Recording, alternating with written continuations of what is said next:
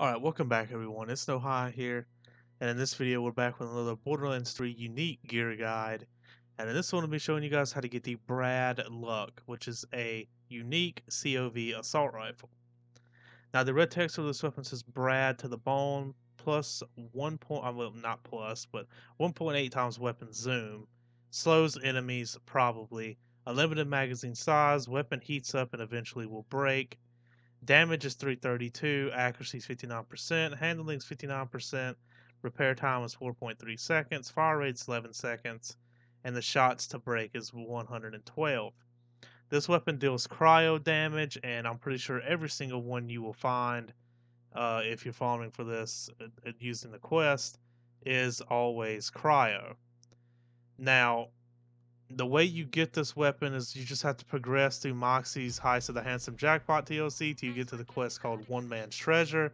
Finish that quest by talking to the mayor of Trashlantis, and he will reward you with the Brad Luck. It's just that simple. All you gotta do is progress through the story of the DLC, and you will eventually get there. It's just that easy to get it.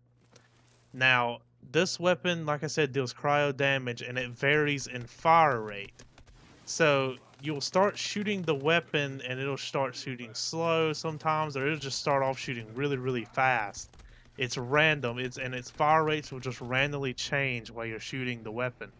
So one second you could be shooting super fast and then the next second you're shooting really really slow.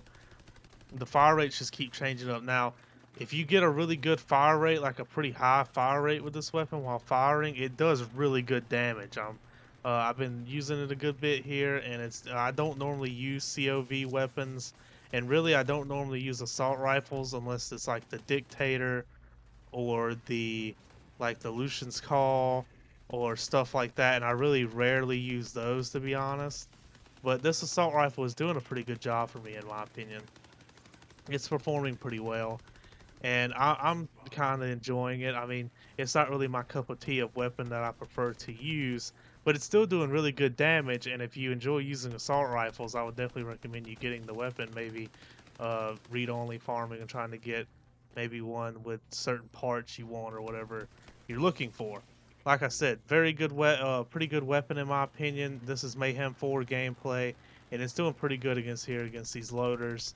Uh, so, like I said, sometimes uh, I mean that was a BA loader right there and it did pretty good damage. Uh, sometimes if you get a slower fire rate, though, it's not going to perform as well. But that fire, the fire rate changes a lot. Like it just randomly changes a lot. So, and it's pretty common to get a pretty fast fire rate. So that can always be fixed pretty easy just by firing the weapon a little bit, and you can get a faster fire rate. But yeah, overall, that's the basically the gun right there. It just alternates fire rate a lot. It always comes in cryo damage, and overall, it's a pretty good weapon in my opinion. If you have a good build that goes with it, I think it could really perform pretty well. But that's all I have in this video, guys. Just want to let you guys know something real quick. I said in my last video that the next part of the playthrough will come out this weekend, and I'm still planning on doing that. You will probably see the next part of the playthrough on Sunday. And then I am off from work Monday, so I might uh, post back to back. Like uh, Sunday, I'll post a playthrough video, and then Monday I'll post another one since I've kind of missed a few days here since I started it because I've been having to work a little bit. I'm having to work the weekend, but I'm off Monday.